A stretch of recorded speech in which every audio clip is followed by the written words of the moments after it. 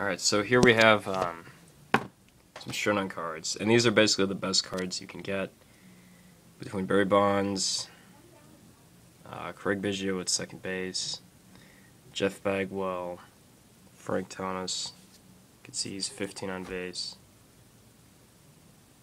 Um, Larry Walker, uh, A Rod, Griffey Jr., Henry Martinez, Mike Piazza. See if you can get a better look this way. So yeah, this is uh, pretty much the best team you can assemble. The only exception, I mean, you can get better second baseman than Craig Biggio. I think um, Roberto Alomar is better, but I don't have that card, so.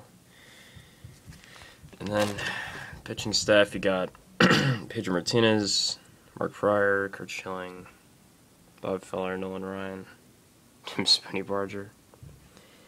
These guys are five and six control, of them.